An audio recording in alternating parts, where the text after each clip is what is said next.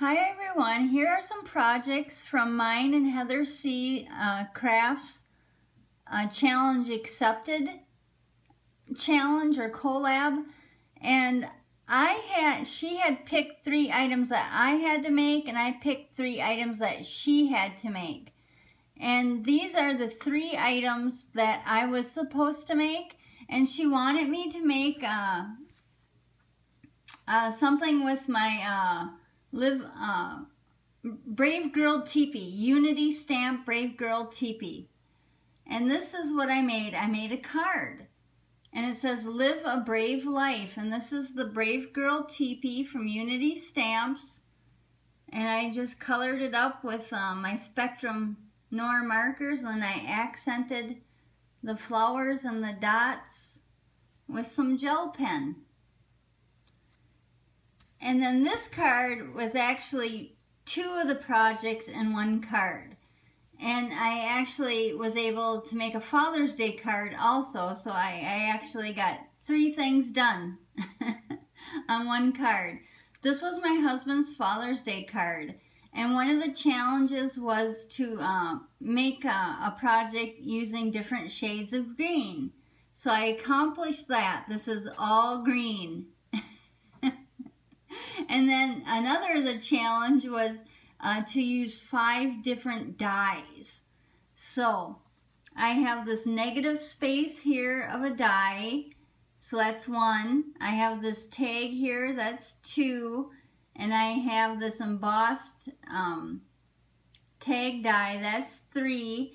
And then I have these swirlies. I have three of them, but that's from one die, so I'll count that as four. And then I have the heart, that's five.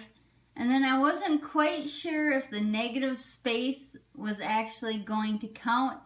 So I added the star right there. So that's actually six. And uh, five if you don't count the negative space. But uh, this is from the Gina Marie die, the heart and the star. These swirlies are from an old Sizzix die I had. This tag die is from a Tim Holtz nesting tag die set I have. And then this one, I can't remember.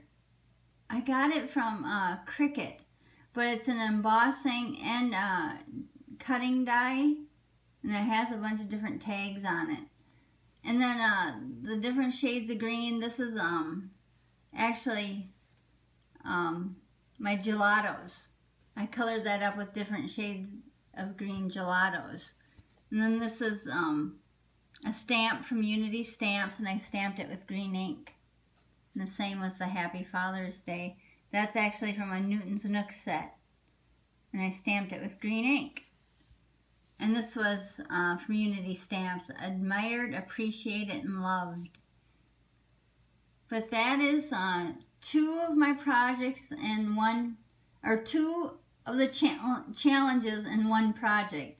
And she did say that I could do that. So these are my three and those are finished and there's one more. I haven't made it yet. We let our subscribers pick a challenge for us to make, a project for us to make. So I still have to create five Christmas tags, uh, not using red or green. So I'm probably going to work on that pretty soon. And I'll link uh, our challenge video that explains the challenge uh, down below. So thanks for watching. Bye.